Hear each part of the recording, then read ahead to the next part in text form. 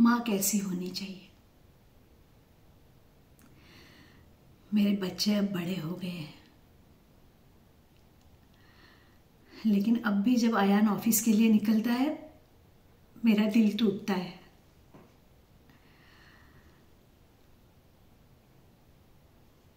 हम गाड़ी में बैठे हैं। पहली बार मैं उसे स्कूल छोड़ने जा रही हूँ। वो बार बार मुड़ के मेरी ओर देख रहा है।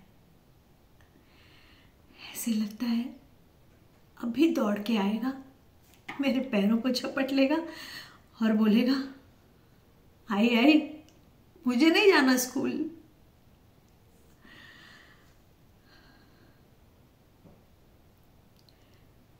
कहते हैं, माँ के लिए सब बच्चे एक जैसे नहीं होते सही कहते हैं। मेरे दोनों बच्चों से मुझे उतना ही लगाव है। लेकिन आयान से कुछ ज़्यादा ही, कुछ ज़्यादा ही चिंता लगी रहती है उसकी।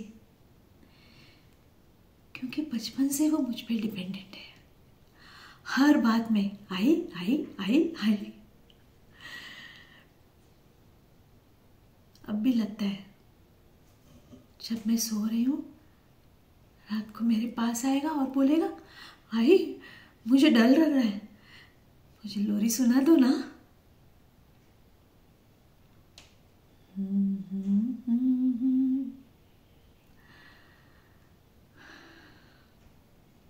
भगवान करे, उसे सारी खुशियाँ मिले।